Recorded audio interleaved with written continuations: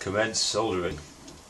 My plan is to use a piece of copper shaped like this with the two ends at 90 degrees so that I can lay sort of a, essentially a bus cable down in parallel along the cells and then there's two ends connected over to the next bank uh, for which I'll also get a shorter piece of copper in a line and just go across here. Um, I needed obviously always to join this bank to this bank uh, eventually but if I can do it with one piece of copper soldered across that would be better than fiddling around with tiny little link pieces to put them across. This should be enough uh, I would have thought.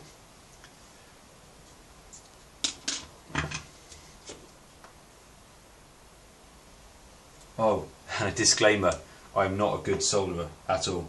I haven't really received any training or anything like that. I last did it at school many years ago. So apologies now. I've just finishing uh, finished soldering this uh, side along here and onto this next pack here. Um, that's my god awful soldering, soldering but um, it's on, it's connected. Uh, it's not pretty, but it works. Uh, I'm no skilled solderer. I've just been cutting up these lengths here uh, of this uh, copper wiring. So that's slightly longer, this is slightly shorter, all set to a, a certain length. And these will all hook around this 90 degree idea for as I go through. And these shorter ones will simply bridge across like this, as I'm just about to do in a moment.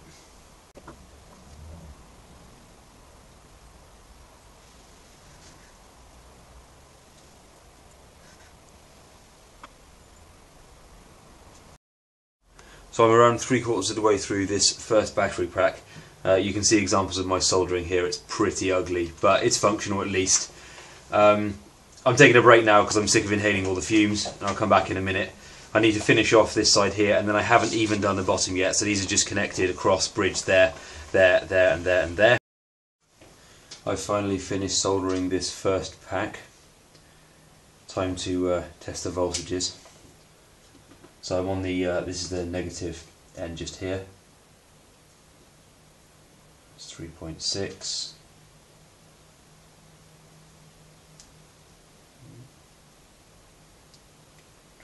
good contact.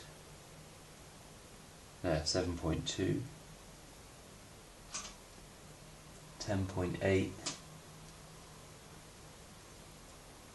14.4,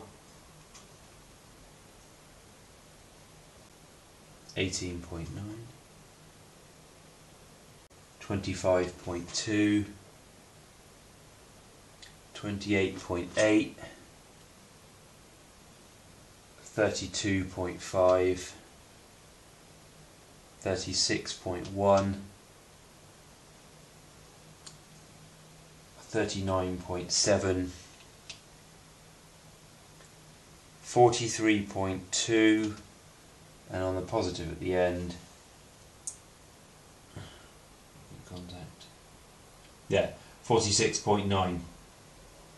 so uh, of course these uh, cells are discharged at the moment. I've already been discharging them. So they're in a discharge state at just shy of the 48 volts nominal that I need for the bike.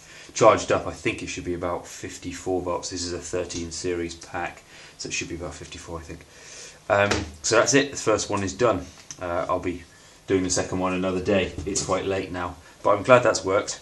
Um, that's the soldering job I've done on it there. Uh, not neat, but it is functional. They're all connected well. I've tested them all. Um, and the pack seems to be physically holding together fairly well.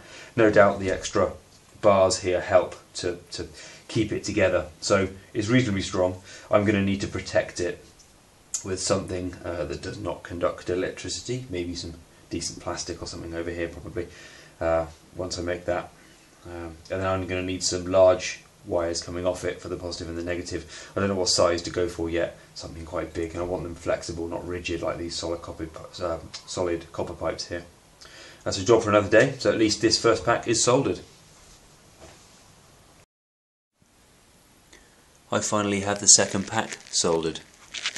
It's taken me a little while to do it, but I'm getting slightly better and quicker at soldering now. Steep learning curve. There's the first pack over there, already done, built, tested. So, I'm just going to test this one now, and unfortunately I've got my crappy old multimeter here, the other one's in the house and I can't be bothered to go and get it. So let's find out if uh, this has all been soldered together correctly, see if the uh, voltages are correct. 3.5, 7.1,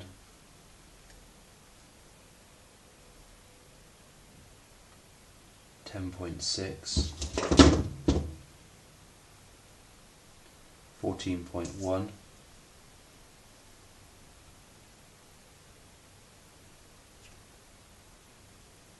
seventeen point seven. 19 I think. Just got to go this this um, crappy thing isn't auto ranging. 21 24 28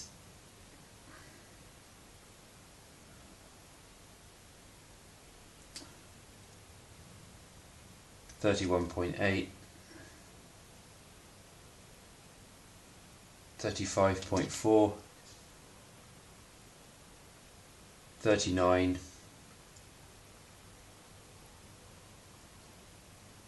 42.6 and 46.2 of course again this pack is discharged similar to the other one so it needs charging so that's good. It's all wired up correctly. It's showing the correct voltage that it needs to at this stage. On order I've got two uh, BMS modules um, one for each of these packs. And I've yet also to buy some proper decent size um, uh, wiring really. Probably sort of a 10 or 8 gauge I guess.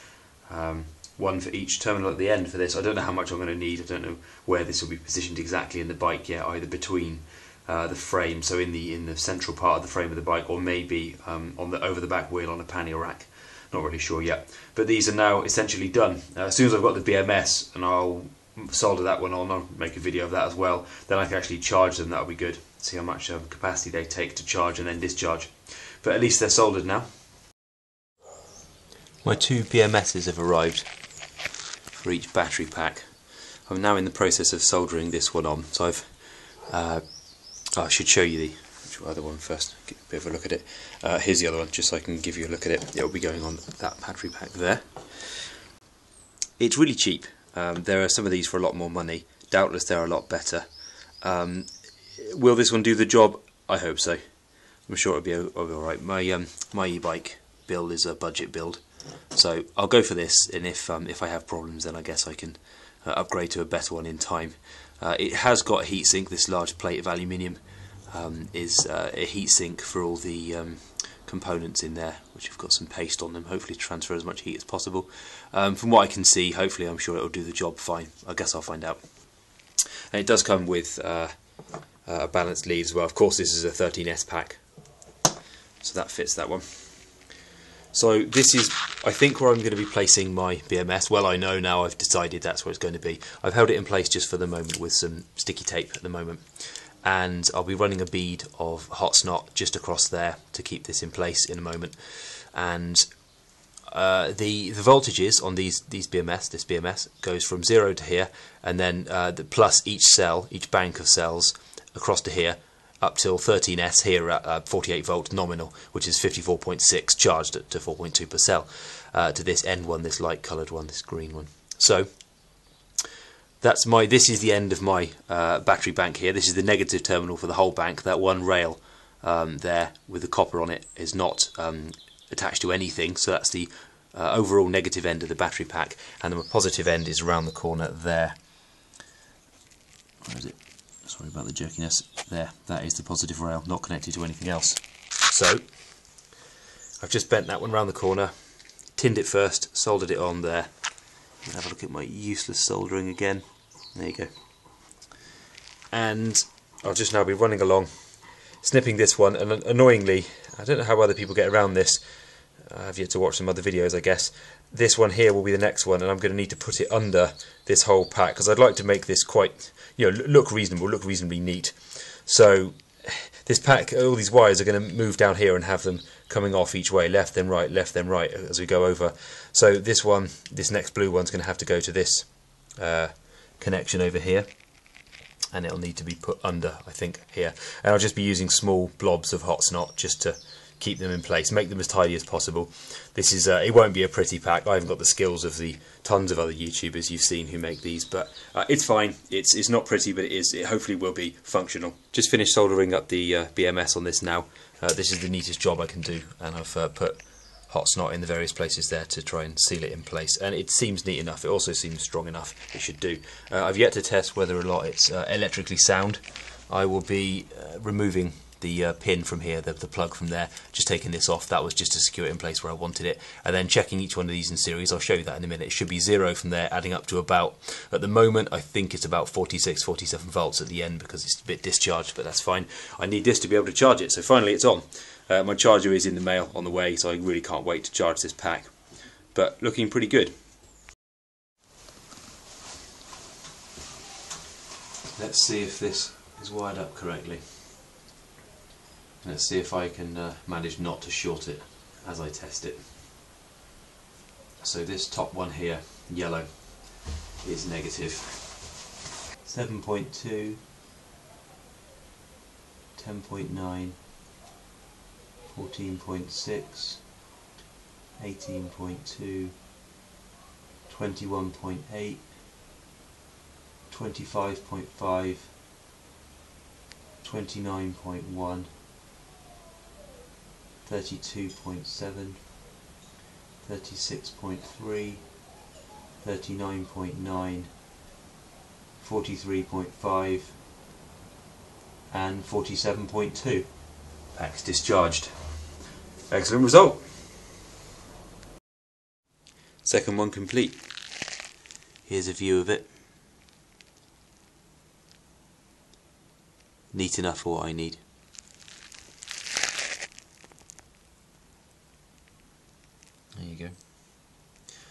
So I'll just check the um, voltages coming out of this again now.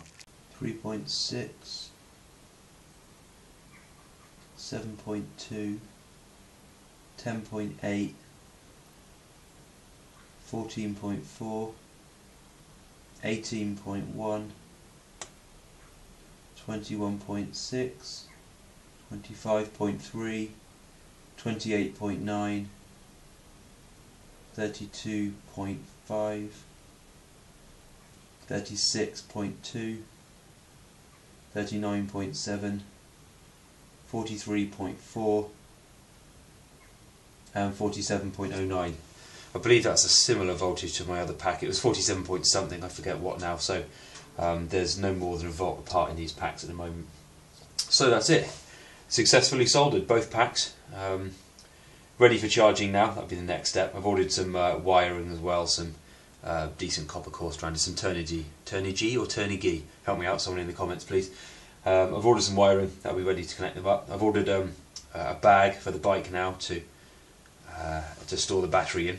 But I'm getting close now.